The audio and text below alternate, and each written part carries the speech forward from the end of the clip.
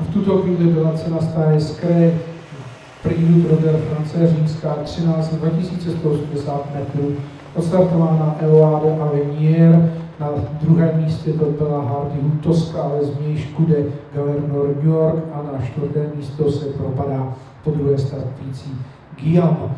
Takže takto se nám zatím koně srovnali v prvních stovkách metrů a Eloade Avenier s Mikou Wolfem si získává náskok nějaký skoro až 20 metrů nad Governor New York s Marisou Bok, ale ta už svého svěřence zrychluje, takže za chvilku už to bude zřejmě souboj Governor New York proti Eloade Avenier. Hardin Toska zůstává na třetím místě a po druhé v životě startující Guillaume na čtvrtém.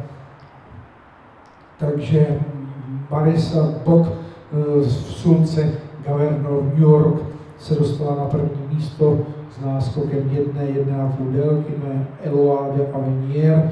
Oni už jsou v oblouku před cílovou rovinou, cílovému mezi chybí zhruba 13 metrů.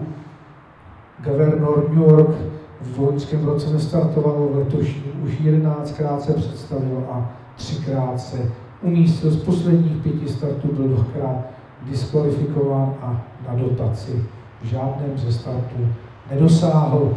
Nyní teda s náskokem dvou třídélek na Morok Mačí, Eloade a Linier minimálně 20, spíš 30 metrů ztrácí Hardy Toska a na čtvrtém místě Gian, který má problémy s čistým chodem.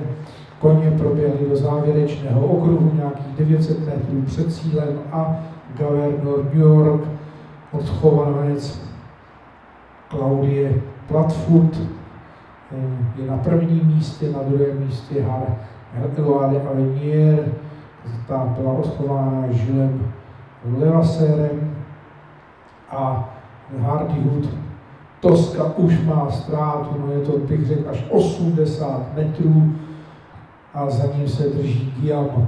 Takže Governor New Yorku s velkým náskokem, minimálně 20 nebo 30 metrů a s náskokem na třetího, čtvrtého koně.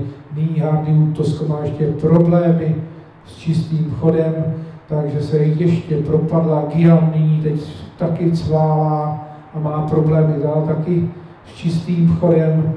No a takže do Zatímco ververoucí Governor New York už se blíží do cílové rovinky, poslední 200 metrů minul distanční mezník a jeho náskok před druhým Eloade Avenier je opravdu 40, možná 50 metrů.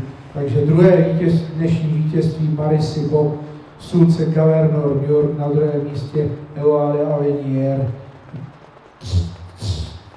Guillaume, Guillaume jde velmi nečistě, uvidíme, jestli bude do 14 vteřin za vítězným Governor New York a na pátém místě snad Hardywood Toska. Viděli jsme pátý bod dnešního programu.